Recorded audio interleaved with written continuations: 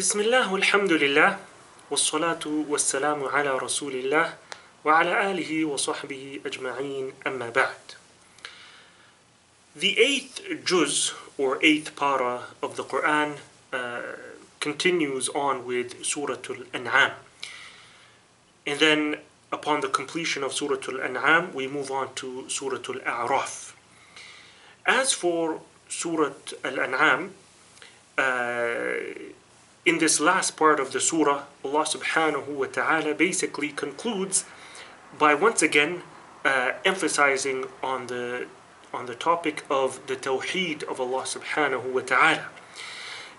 And so uh, Allah subhanahu wa ta'ala talks about uh, the mushrikun and some of their superstitious beliefs that they had regarding cattle, livestock, al-an'am. Uh, and so Allah subhanahu wa ta'ala mentions these, uh, you know, uh, false uh, superstitious beliefs and acts of worship that they used to do, and He refutes them. Uh, also, uh, Allah subhanahu wa ta'ala mentions at the end of the surah some of the rulings pertaining to what kind of meat are Muslims allowed to eat. And so Allah mentions that we're only allowed to eat that which was slaughtered uh, and the name of Allah was pronounced upon it. Uh, in other words, when the, the animal was slaughtered, uh, the, the one slaughtering said the name of Allah uh, when slaughtering, and how meat that is not slaughtered with the name of Allah, then it is unlawful for us to eat.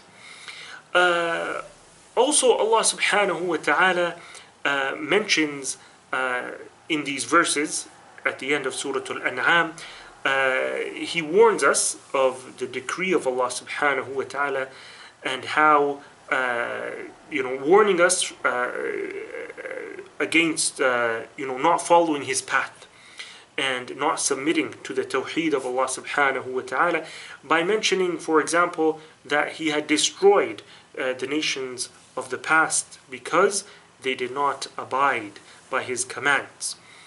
Uh, also, one of the very last verses mentioned in Surah Al-An'am is where Allah subhanahu wa ta'ala commands the Prophet sallallahu alayhi wasallam uh, to say قل إن صلاتي ونسكي ومحياي ومماتي لله رب العالمين لا شريك له uh, that uh, my prayer and my nusuk and my rites uh, of uh, you know Hajj and so on and so forth all of these are for Allah alone. And my living and my dying, they are all for Allah alone. Uh, and no one shares with Allah in that. So, once again, emphasizing uh, the importance and the significance of the Tawheed of Allah subhanahu wa ta'ala. Uh, after that, we move on to uh, Surah Al A'raf. Surah Al A'raf, uh, which is basically uh, the, the, the, the remaining half of this juz. And uh, Surah Al-A'raf basically uh, begins uh, by Allah subhanahu wa ta'ala mentioning uh, the, the story of Adam alayhi salam and how he was deceived by shaitan, how he and his wife were deceived from uh, by shaitan, who uh, basically deceived them into eating from the tree that Allah had forbidden them from eating from. Uh, and you know what happened as a result uh, of them eating from the tree. And so Allah subhanahu wa ta'ala mentions this story, and then Allah subhanahu wa ta'ala uh, addresses us, the sons and the daughters of Adam alayhi salam. And so Allah says, Ya bani Adam. Four times Allah uh, uses this call and this address, Ya Bani Adam. Four times Allah mentions it uh, in the following verses. Uh, to basically uh, bring our attention to the fact that we are, you know, from Adam alayhi salam. We are the descendants of Adam alayhi salam. And so Allah reminds us that just like uh, Iblis deceived Adam, he will also deceive us. And we are no different than Adam salam in terms of our human nature. So let us beware of Iblis and his plots and his traps. And then Allah subhanahu wa ta'ala mentioned uh, the scene that will take place uh, in the hereafter. Uh, concerning, uh, you have you know the people of Jannah on the one hand, and then you have the people of Jahannam, the people of the hellfire on the other hand, and then you have a people who will be in between, and these people are known as Ashab al-A'raf, as Allah mentioned uh, in the surah. Uh, and al-A'raf basically means the heights, the heights, uh, or you could say the cliffs uh, where they are standing. Uh, this group of people are standing, uh, you know, at, a place where they are between uh, the people of Jannah and the people of the hellfire. And uh, they're very worried and they don't know what's going to happen to them. and so there's a conversation that takes place between them and the people of Jannah, and between them and the people of the hellfire. And you know, each one of us should uh, you know uh, picture that scene and read these verses uh, and contemplate over them and imagine that perhaps uh, we may be one of them on that day.